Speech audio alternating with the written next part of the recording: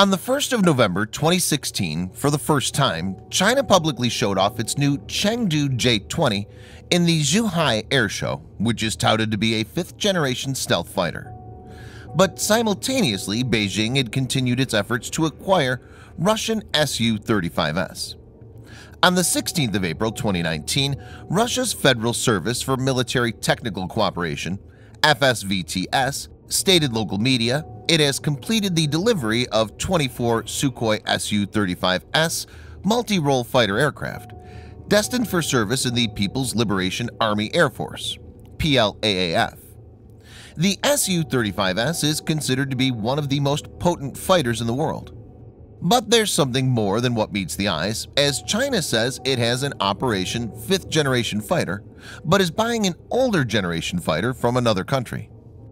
In this video, Defense Updates analyzes why China bought Su-35S from Russia when it has indigenous Chengdu J-20 5th generation fighter. Let's get started. This video is sponsored by War Thunder, if you are, like us, fascinated by military vehicles and technology, I recommend you give War Thunder a try. It's a military vehicle combat game which you can download and play for free on PC, PlayStation 4, and Xbox One with cross-platform support. It has a huge variety of more than 1,200 playable aircraft, tanks, helicopters, and ships from the 1930s to the 1990s, which you can take to battle on land, in the air, and at sea on more than 80 theaters of war. War Thunder's been kind enough to offer all Defense Updates viewers a special bonus, which will grant you a free premium tank or aircraft and three days of premium account time for registering using our link in the description below. So take the plunge and join more than 20 million players from around the world.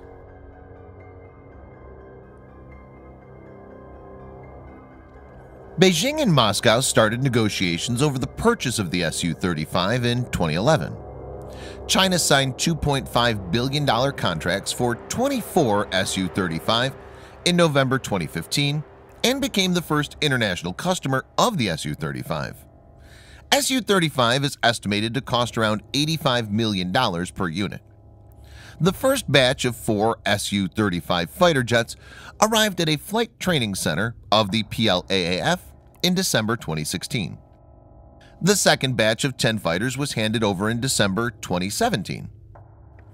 In April 2018, the Chinese Ministry of National Defense confirmed that the Su-35 had officially entered service.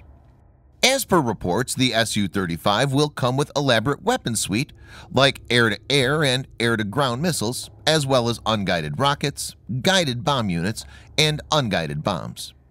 The fighter is expected to carry R-27, R-73, and RVV family of air-to-air -air missiles, and KH-35E anti-ship missiles. Here are three reasons that are behind China acquiring Su-35S.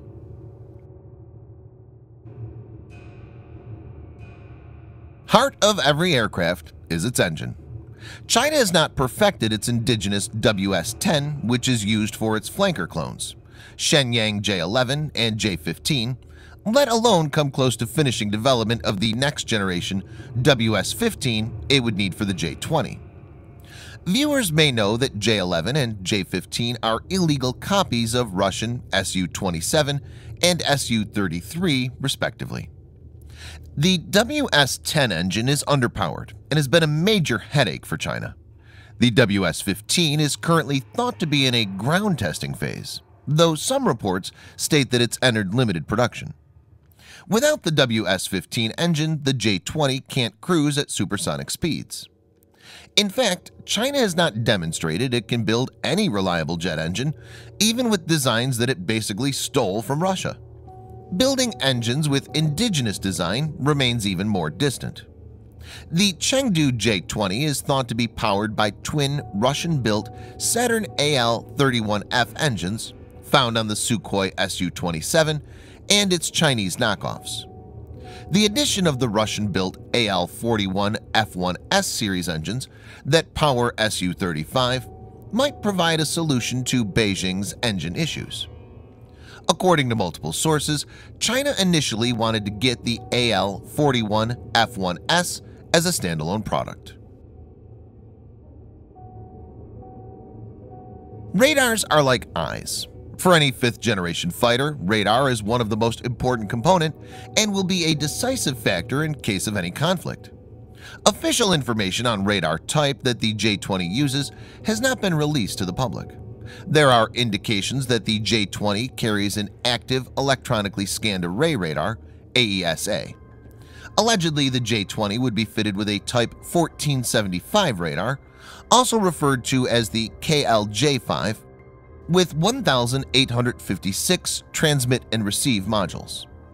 There is no way to confirm that information because the PLAAF isn't all that forthcoming about sharing information concerning its developmental projects. However, it is well known that China is lagging far behind in AESA radar technology. Russian radar technology is way ahead of China's and is considered one of the best in the world. This is why Beijing wants Su-35, as it would gain valuable technical insights from the Irbis-E radar.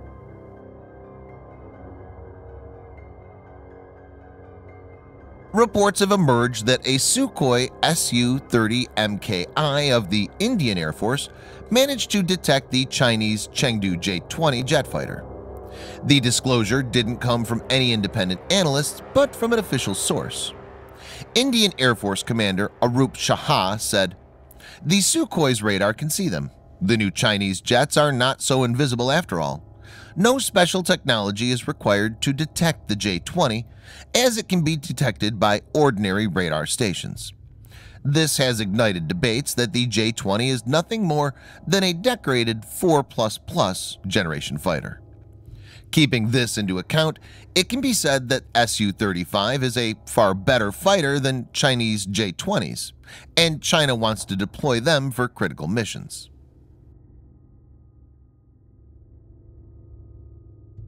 As already stated, the Chinese reverse-engineered older versions of the flanker into the Shenyang J-11, J-15, and J-16 series of aircraft. Given the Kremlin's previous experience with selling China advanced technology, Moscow has this time insisted on agreements to secure Russian intellectual property on board the Su-35. Vladimir Drozhzhov, deputy director of Russia's Federal Service for Military Technical Cooperation, said, We established a Russian-Chinese working group for the purpose of practical implementation of this agreement, which held a regular meeting in September this year. While the external design of the J-20 resembles a fifth-generation fighter in several aspects, it's handicapped in terms of engine, radars, and stealth.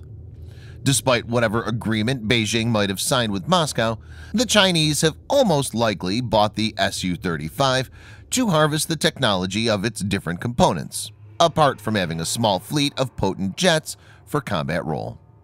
But even knowing this, Russia is selling Su-35s because it's in dire need of funds as its economy is in downturn hit by many sanctions. Thanks for watching. Subscribe for more videos like this. Hit the like button if you find the video interesting, and kindly provide your feedback in the comment section. This will help us improve.